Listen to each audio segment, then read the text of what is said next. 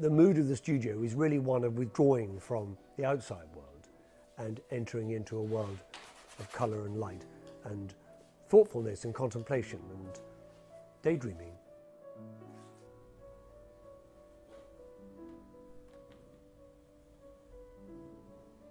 In the last two years, I have found a way of distancing myself from, you know, the ambient world where you have to use your mind in its alpha state and enabling myself to kind of almost to float away.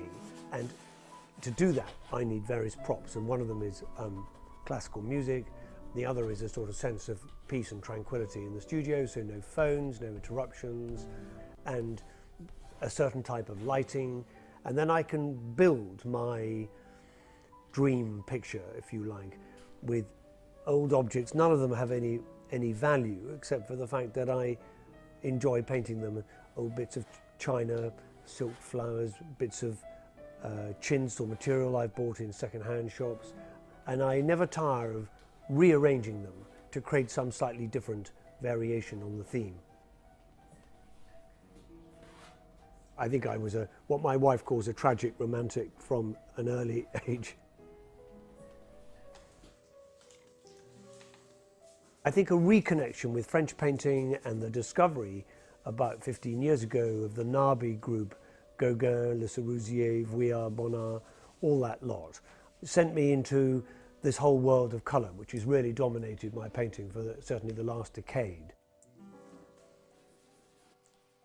I think colour works at an emotional level before it works at a descriptive level. So, you know, you see this with young children. They, they like the colour red. So they like their red bucket or their red jumper because it's red, irrespective of the use that it's going to be put to.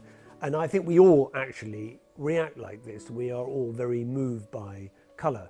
It connects at a subconscious level to our emotions.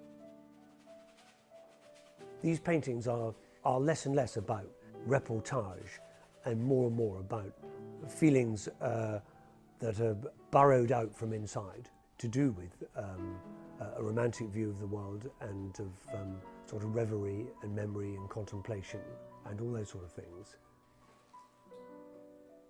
And when you're doing it and things are working, it's one of the best experiences that I can have. And I think other artist friends of mine would say the same thing. As a human being, I mean, there is this sense of being connected to something primeval and atavistic and elemental and you know you're kind of getting as near to your maker as you as you can I think as a as a human being. The worst part of it is when it all goes wrong and you then enter into a sort of spiral of self-doubt and you think that you're worthless and who the hell thinks you can make a living as a painter and um, you know what you've done is inadequate or it's derivative or it's feeble or it's constipated.